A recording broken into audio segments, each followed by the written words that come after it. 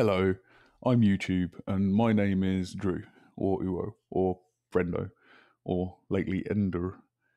Uh, and I'm here to talk about the find command. This is the find page, uh, the, find, the, the find command manual page.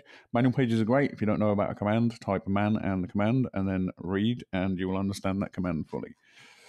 They're very detailed, they tell you everything, and they're usually, you know, pretty well written.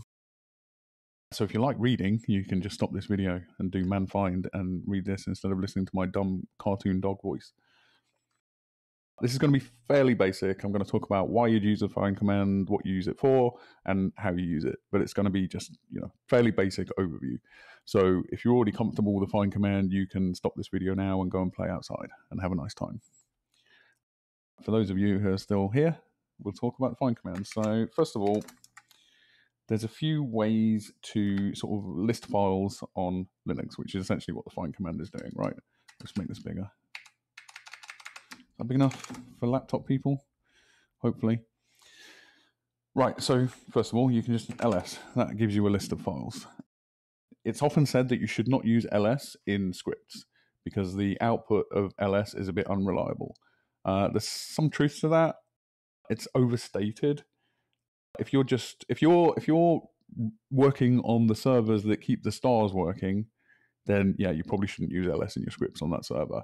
If you're just making a little script for yourself that alphabetizes your list of Vin Diesel films, probably not a problem, right? You know, if that breaks, not the end of the world. Also, you know what your input is. You know what is in the file names that you're using.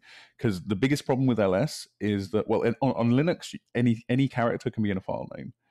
There's no restriction on what characters you can put in a file name. I think even including the null character. Uh, and and the, the, most the biggest cause of problems with that is that new lines can be in file names. So the output of ls uh, is by default is delineated by new lines, and you might have a new line in the file name. So does your script know whether that's the end of a file name or just a new line inside the file name? So if you do that's not going to be great in scripts in that circumstance, in that incredibly. Have I ever seen a file name with a new line in it? No, not in my life. Could it theoretically exist? Yes. So, you know, use common sense. ls is fine in a lot of cases in scripts. Uh, the other thing you can do is uh, globbing, like on, um, I'm on Z shell. Z shell's globbing is really cool. So if I do ls etc star star slash star dot conf, this is a good way of finding files. So if I do that, that lists every conf file at any depth in my etc folder. So with Z shells globbing, the star star means any path. So slash etc slash any path at all, and then anything called star.conf. And we get all my config files, uh, and that's all good. So yeah, there's, there's, you can just often you can just find things with with globbing. Uh, you can do the uh, i in glob do echo i done. Right, so we're just using globbing there. If you just want a list of everything in the folder without some of the problems of ls, so if you're a little bit worried about ls, but you don't want to do anything super complicated, you can just do that. If you just want to list everything in in in the folder, uh, so that's for you know for i in glob. So everything here, do echo i done. So I'm just you know echoing the output. You can, but obviously you can do anything with that.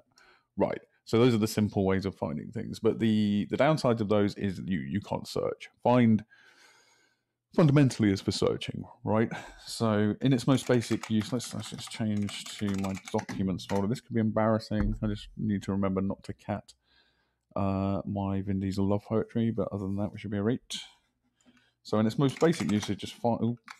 If I don't typo, it just lists everything, right? But obviously you can do more than that. So if we find dash iname star.png, there we go. So what that's done, let's get the command back up. I mean, it's a bit bigger. That might be a little bit small for you laptop freaks. So find iname. So in name, essentially, the i just means uh, case insensitive. So my search was case insensitive in case anything was uppercase.png. You can, if you're certain of the file names, just use dash name. It's probably quicker, I assume. I tend to just always use dash i name, you know, just for simplicity. So find in name um, anything.ping, and it's done that at any depth within the current folder that I'm in. So that's cool. So if I wanted to find like all images, I can do dash o i uh, not all in images, but let's say pings and JPEGs. JPEG, right? So command back up again. So dash o means or. So first of all, find the structure of a find command is you know the command, and then a path. If you don't supply a path, it assumes the current path. Um, so find path and then rules for what you want. So I want something uh, called anything.ping or dash o is or anything called star.jpg. Uh, I could also do, uh, as well as dash o, you've got dash a. So that's and. Obviously, this isn't going to return anything because it can't be called star.ping and star.jpg. But so you've got uh, or and and. So you can use those. You've also got, so if I just do find in the current folder, that lists everything at any depth if I do find in the current folder type F, then I just get the files rather than the folders or directories, as we're supposed to call them. I can do the opposite. I can do type D, and then I just get the directories and not the files. So you can, and obviously you can chain that with other things. So I want something called whatever, um, which is specifically a directory and not a file. So that's that's the basic usage. That's going to be most of your use of find. So if you want to, if you want to, like, if I wanted to get list all the MP3s in this uh, in this uh, current directory at any depth. Oh, first uh, let's do let's do max depth, min depth first. So let's do let's go back to my ping. Now I think I'm actually certain about this. I think max depth because with find there are some rules about the order of um, uh, the uh, what are these called? The order, the order of the rules, essentially, that you put in. So I think max depth has to come before uh, the name rules. So let's do max depth. Let's do max depth one first of all. So obviously max depth does what it says, like recurse into this many subdirectories. There's also min depth. So you can specify, you know, at, at no less than a particular depth. So okay, there's nothing at depth one. Let's try depth two, just to prove that this works. Hold on, three. Uh, oh, I'm still doing, and that's why that's returning nothing. Uh, so yeah, I was still doing things that are called both ping and JPEG, which isn't going to work, is it? There you go. Some pings at depth two. Uh, I could change that to min depth.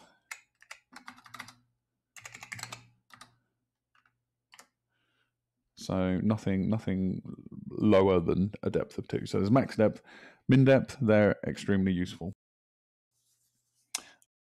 Okay, let's talk about finding the current uh, directory. We'll stick with pings because I know there are some. Uh, startup ping. Uh, and we can exclude rules like this. So so all pings that don't have an E in them anyway. I actually need star star there, don't I? Uh, star, star star. So this is going to find at any depth something with uh, ping, but without an E in it. There we go. So we've got the uh, atom dot icon, uh, atom underscore icon that doesn't have an E in it. So okay, so that gets a little bit sophisticated, right? So what we did there was uh, exclude. So the exclamation mark means this rule is the opposite. So something without this as the case. So if this if this bit is true, this entire thing is false, essentially. So excluding things, basically. Think of that in terms of excluding things. Uh, you can also do uh, path. So this is like the path contains something. Let's so let's since we've got these things in a thing called layers, let's let's uh, let's insist on that path. And there we go. So you've got you can specify the name, you can specify the path. So you know at any depth, I could I could specify a uh, you know a particular requirement for the path. So that's the basics of find. Incredibly useful for just finding stuff on your system. And of course, on, right here, I'm just doing dot for the current folder, but this could be any folder. So let's say etc and let's replicate what we did with um, globbing. So there you go. All the um, you're going to get permission denied because you're a normal user looking in a restricted file system. So you know that's going to happen. You have to deal with that in scripts. But uh, yeah, essentially that's done the same as the globbing and listed every conf file in my uh, etc folder, which is a useful thing to do, right? So I guess the last thing that's cool about the find command, and this is sometimes the reason why this is cool, uh, is because you can replace a lot of bash scripts, like something. Where, okay, so you wanted to list particular file types in a particular folder, then do something with them.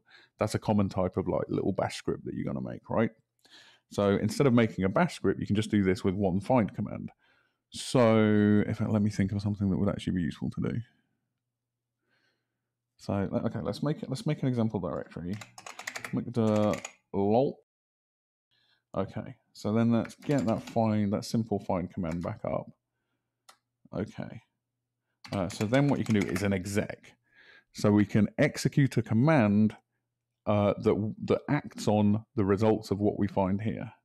Actually, let's make this a bit more specific, because otherwise I'm gonna let's have uh, not all. Uh, let's have also in name. What have we got? Let's pick some very specific.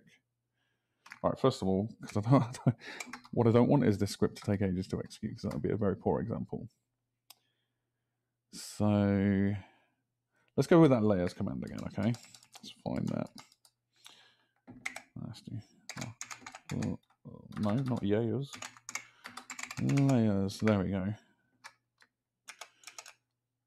So what I did there is a recursive searching. If you don't know about recursive searching, that's cool too. Press Control R, type in what you're looking for, and then keep pressing Control R to go up through previous versions of commands that contain what you typed in. So searching commands, that's really useful. So here we're finding like those five files are going to be not five, is there? However many there are, 19, I guess.